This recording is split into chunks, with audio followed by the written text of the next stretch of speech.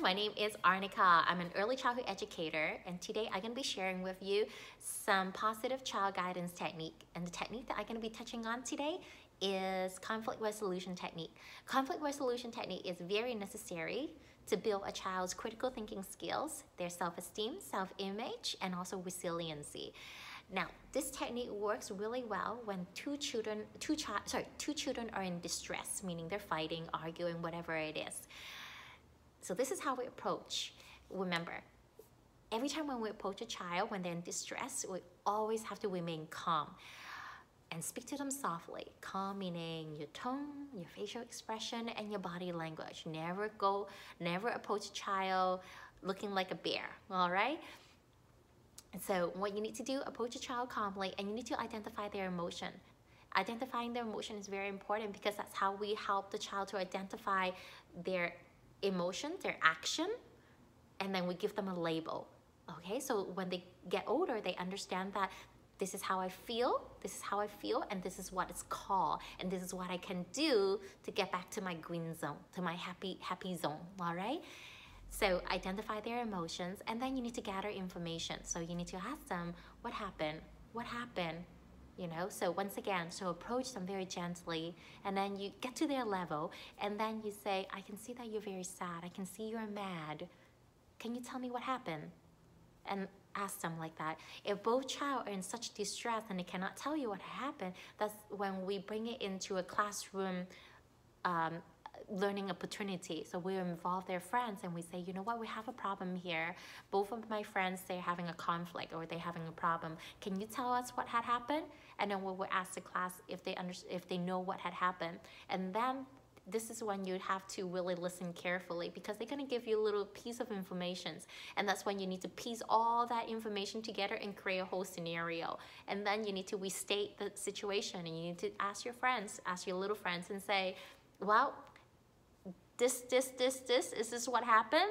And then when, thing, when they can say, yes, this is what had happened, then you need to say, well, I think we have a problem here. What do you think the problem is? And then you need to help them to identify the problem. And once they identify the problem, and then you will help them to find a solution. Now, if they cannot identify the problem, you don't let them know. Don't give out the answer. You just need to ask a lot of questions to lead them to the answer. Don't ever give them the answer. When you give them the answer, you're taking away that learning opportunity for them to be a critical thinker. All right, so try your best to ask a lot of questions. What do you think? Well, what about this? Things like that. You can sort of direct them into the, the answer that you're looking for. And then when they do, then you need to praise them and you need to say, yes, I think so. I think that is right. You are very good at you know, figuring out that sort of thing. So once they have identified the problem, it will become, well, what do you think we can do about this? Do you have any idea? Do you have any idea? Once again, it becomes an activity where you're removing a child from the problem.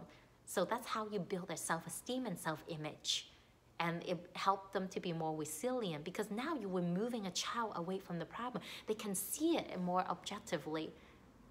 I hope I hope this makes a lot of sense to you guys. So anyway, so now we need to help them to find a solution to this problem.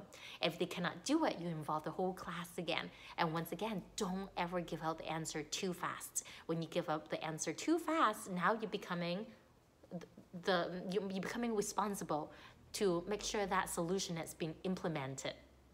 So you always want to give the ownership back onto the children.